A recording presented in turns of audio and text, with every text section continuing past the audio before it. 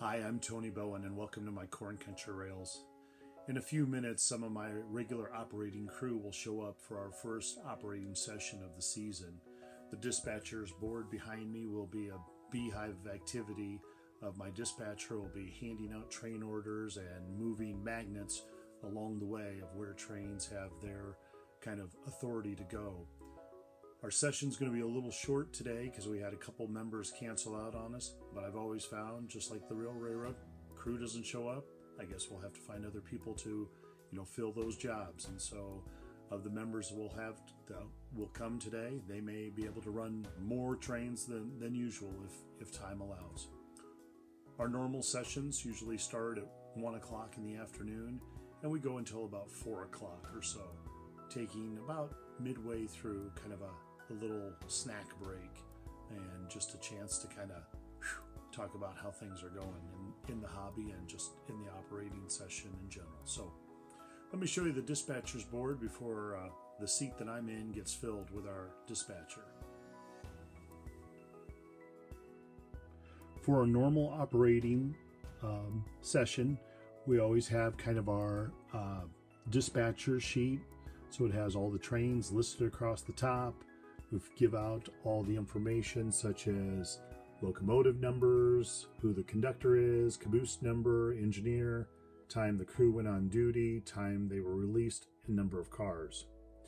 And then down below is just kind of a copy of a small insert of what would be found in our timetable that has the milepost markers, has the car capacity for the sidings and that. And on either side, we have our westbound trains, and then we have our eastbound trains. And the dispatcher then also has this magnetic board that I built. And so the upper staging kind of starts here. So trains that are east have the blue dots, trains that are west have the red dots, and essentially they go down the helix. And so the lower part of the board is essentially the lower deck of the layout.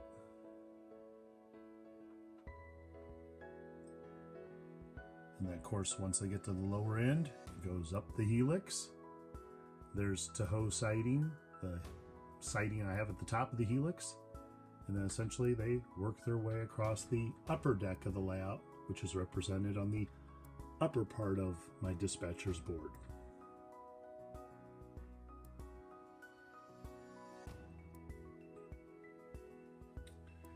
And essentially as train crews OS in, the magnets are just moved to where those trains are.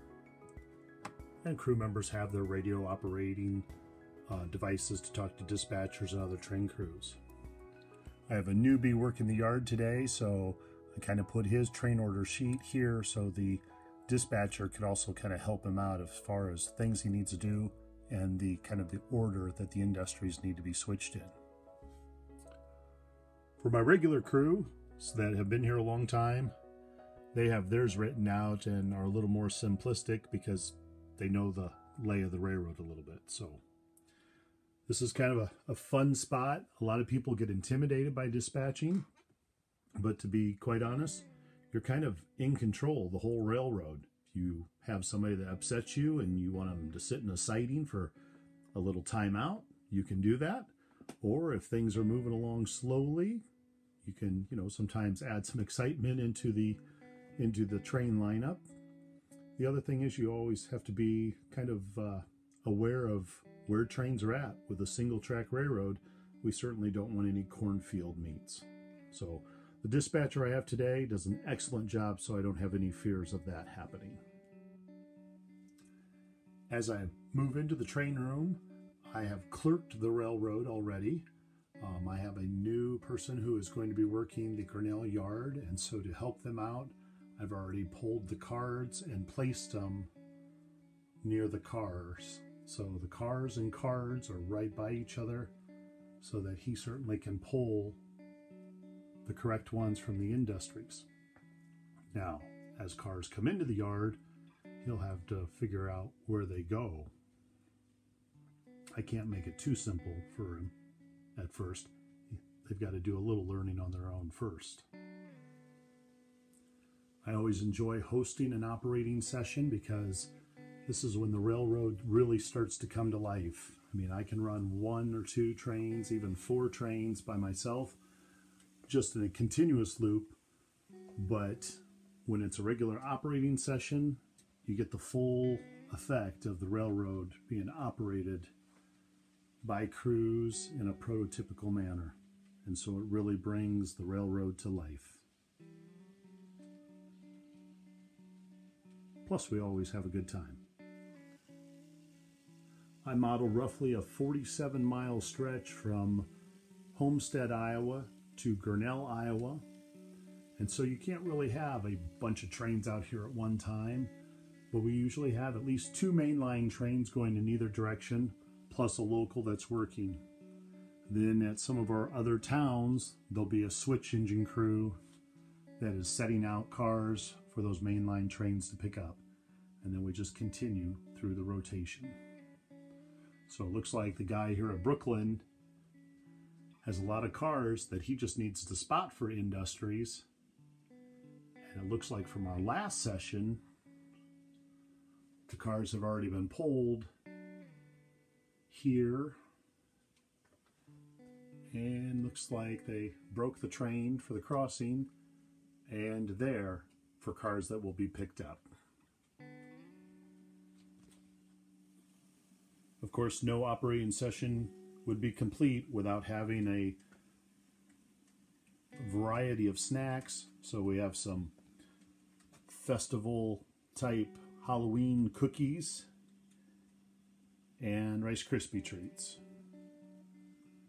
So as crews come in, they can also grab an apron from down there, grab the radio, throttle if they need it, and then also I keep the nice dollar Walmart nail aprons on hand in case somebody wants to wear an apron to keep all their car cards in, the radio in, any notes like that. And then we have our lineup for getting our operating session started. And as jobs are completed, these empty slots that are there, crew members can mark up which job they want next.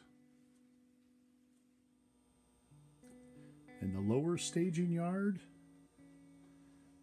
other than a couple trains that are made up for the day to leave the yard, looks pretty empty. But I have a feeling by the end of the day, we'll see a lot more cars filling up this yard.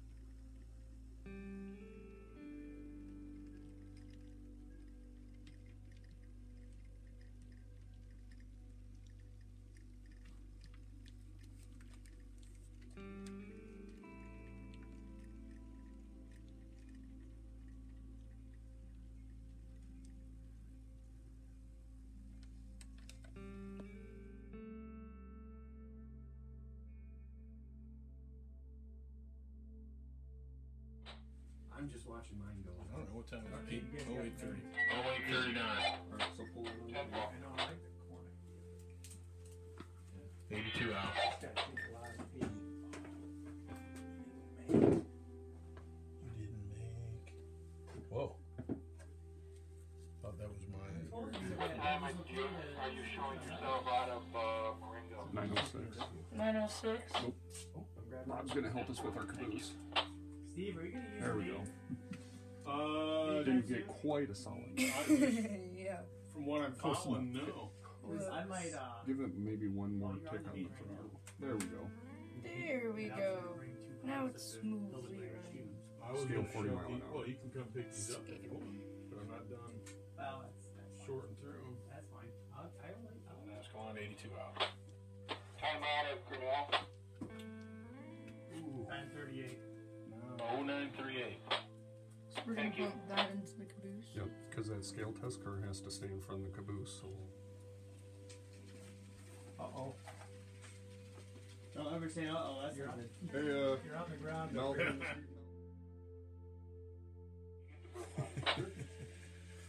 There we go.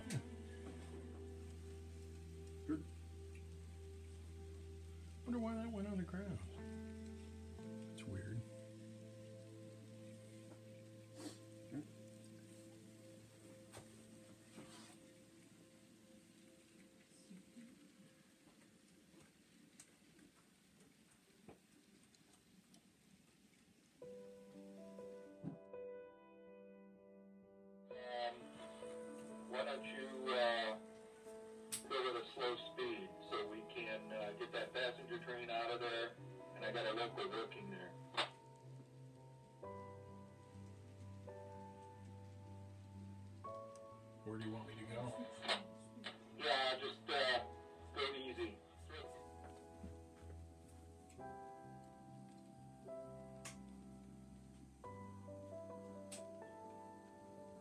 Don't mess up.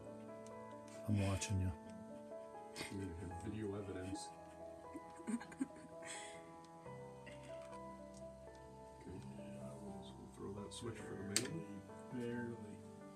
And I don't think dispatch so. I don't know think we're it clear will. of the main. 828 to dispatch for clear of the need- main. Oh, that's, Ten four, thank you. you Um, need the D part before. so I can need you to um, hold the siding there until I can get 84 past you. 10 4, 1200 out, we're on the move. Timeout. 325. Thank you.